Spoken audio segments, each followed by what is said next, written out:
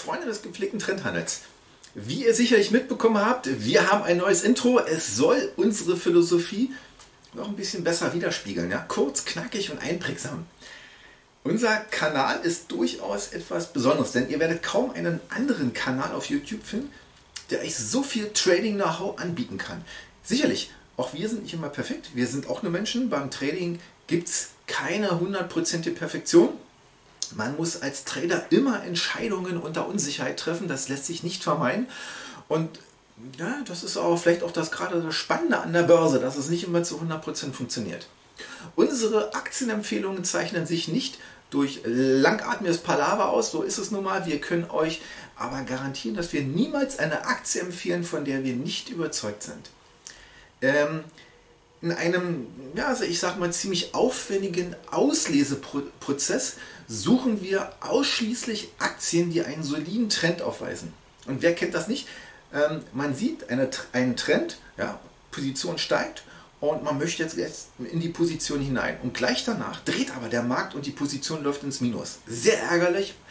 Aber genau das versuchen wir mit unserem Ausleseprozess zu vermeiden. Ja, die Trends, auf die wir fokussiert sind, zeichnen sich durch eine überdurchschnittliche Trendstabilität aus.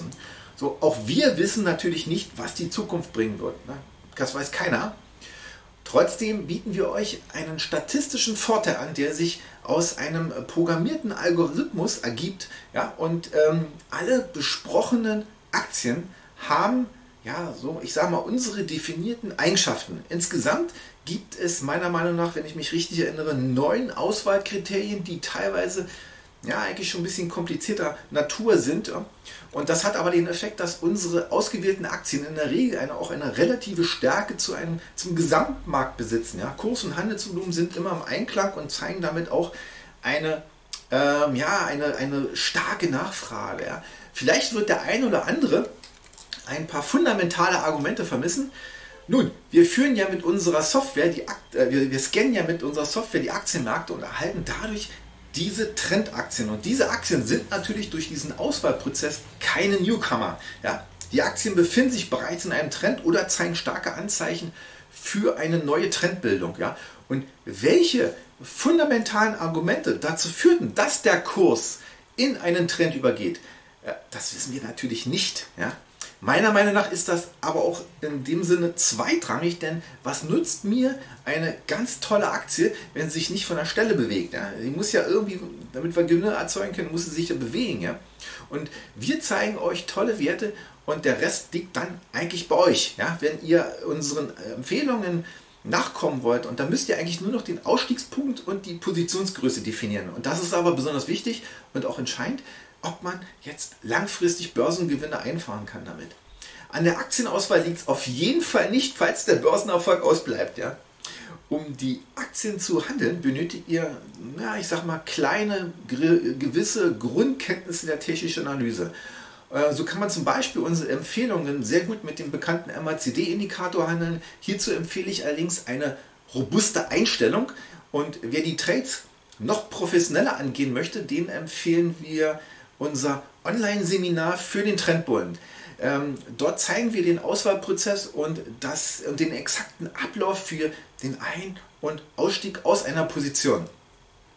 Ähm, den Link habe ich euch äh, in der Beschreibung nochmal zum Video äh, hinzugefügt.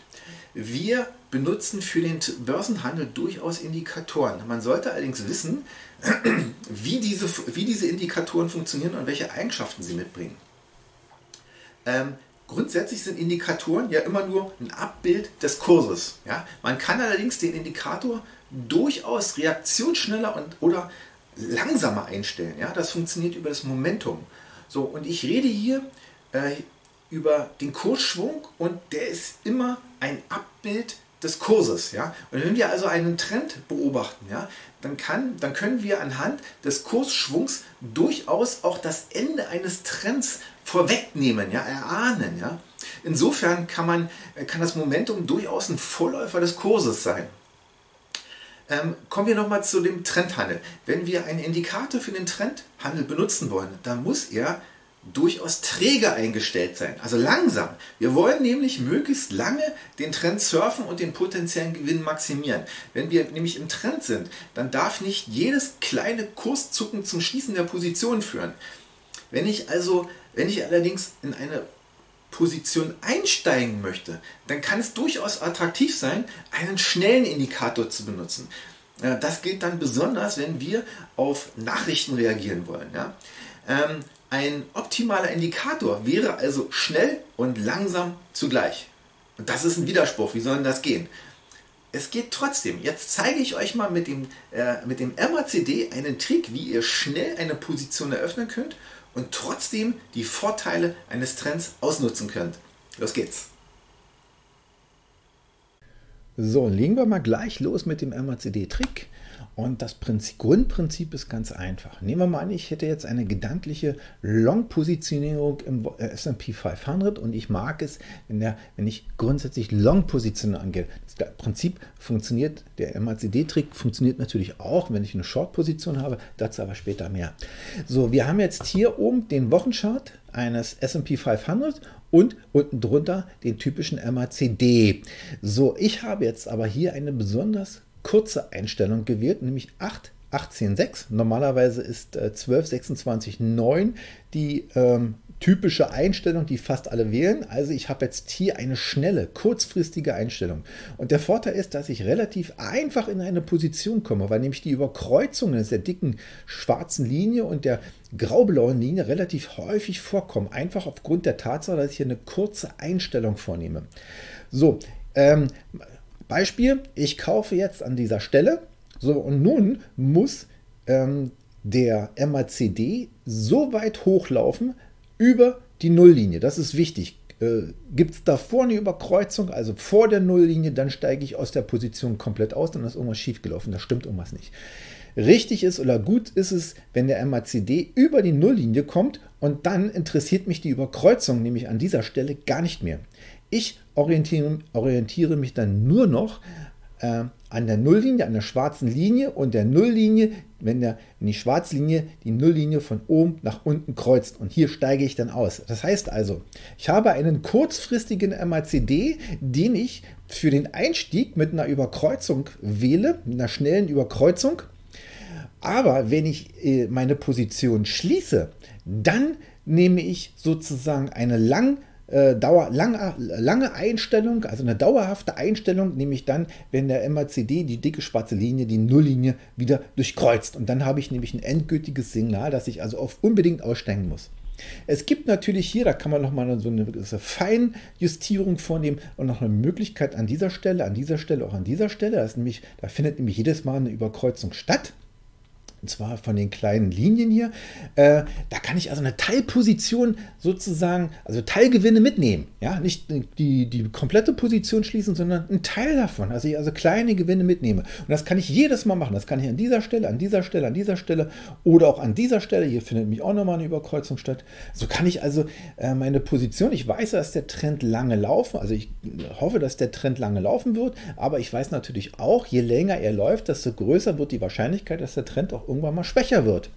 So, und ich kann also an diesen Stellen immer einen Teilgewinn mitnehmen. So, und äh, hier habe ich also, sage ich mal, das Grundprinzip verwirklicht, dass ich einen schnellen Indikator kombiniere mit einem langsamen Indikator und alles in einem zusammengefügt. Ja, und das ist sozusagen das Wesen, das Wesen des guten Tradings, des, des guten Trendhandels. Also hier habe ich jetzt beispielsweise wieder eine, eine, Überkreuzung, komme in den Trade hinein, so und nun schaue ich, dass der, dass der MACD auch wirklich die Nulllinie durchschreitet. Das tut er ohne vorher eine Kreuzung der, der grau-blauen Linie vor sich vorgenommen zu haben. Und nun weiß ich, aha, ich bin in einem Trend, ich muss die Position laufen lassen.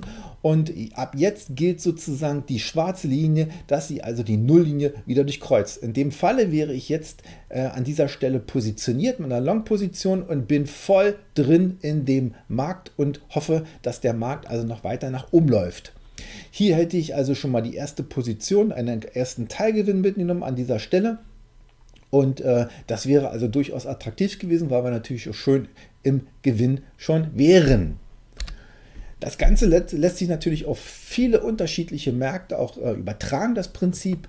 Ähm, hier ist es jetzt einfach mal Gold. Ähm, dargestellt ist jetzt der Gold ETF GLD, das ist ein amerikanischer ähm, ETF. Und äh, hier wäre jetzt eine Einstiegsposition. Ich gehe davon aus, dass ich long bin. So, und halte meine Position so lange, bis die Nulllinie sozusagen durchstoßen wird. Damit ändere ich den, den MACD-Modus und jetzt geht sozusagen die Nulllinie als Verkaufslinie. So, und die schwarze Linie kreuzt hier nicht, also ganz knapp ist sie noch davor. Hier hätte also theoretisch eine, ein Verkauf stattfinden können, wenn die, wenn die schwarze Linie die Nulllinie durchkreuzt hätte. Hat sie aber nicht. So, und der Markt läuft hier wunderbar weiter und wir sind weit davon entfernt, ähm, dass jetzt die MACD-Linie die Position ähm, äh, schließt. So, und äh, wenn man sich mal anschaut, wir wären jetzt wunderbar in dem Trade drin gewesen und hätten sozusagen die komplette Welle mitgenommen, die lange Welle, den langen Trend und wir wären wunderbar positioniert und wir hätten immer kleine Ausstiegspositionen hier gefunden, an dieser Stelle, an dieser Stelle, hier, hier und hier. Hätte man Teilgewinnmitnahmen machen können. Wunderbar, um einfach so ein bisschen immer auf der sicheren Seite zu sein und, und äh, ähm, ja, eben halt äh, Gewinne mitzunehmen. So, hier haben wir jetzt mal die, die Ausgangssituation, mal einen schlechten Chart. Also das ist jetzt der Euro-US-Dollar und hier wäre jetzt mal die eine Short-Position interessanter gewesen. Und wenn man sich mal die, die Abwärtsbewegung anschaut, das ist zwar relativ konstant in der Abwärtsbewegung, aber viel Dochte, viel Lunden, das ist nicht hier schwunghaft, das ist einfach nur so ein Heruntertropfen. Das ist eigentlich ein sehr schlechter, ähm, sehr schlechter Trend, Abwärtstrend zum Handeln. So, und wenn wir jetzt mal schauen, dass wir jetzt in den Markt hineinkommen, die früheste Position wäre jetzt mal hier gewesen, ja, dann wäre hier oben eingestiegen, der Markt fällt jetzt herunter, wunderbar, das wäre es noch der, der beste Weg gewesen, also die beste Abwärtsbewegung. So, und äh, jetzt halte ich die Position so lange, bis ich an dieser Stelle, hier kommt man über Kreuzung, dann hätte ich also hier meine Position geschlossen, wäre schön im Gewinn gewesen. Weitere Einstiegspunkte, wenn ich also weitere Signale ab, abwarten hätte wollen, dann hier beispielsweise oder hier hätte ich einsteigen können, das wäre an dieser Stelle. Ja, also es funktioniert sowohl in der Aufwärtsbewegung als auch in der Abwärtsbewegung ziemlich perfekt und immer alles nur mit dem MACD-Indikator umgesetzt. In der Einstellung 8.18.6. Ja, wenn euch der Trick gefallen hat, dann äh, abonniert doch einfach mal den Channel, einfach den roten Button unterhalb des Videos drücken und dann seid ihr auf jeden Fall mit dabei, wenn es weitere Tricks innerhalb der technischen Analyse gibt. Das war es eigentlich auch schon für heute. Ich wünsche euch dann noch einen schönen Abend und bis zum nächsten Video und grandiose Trades. Euer Christian.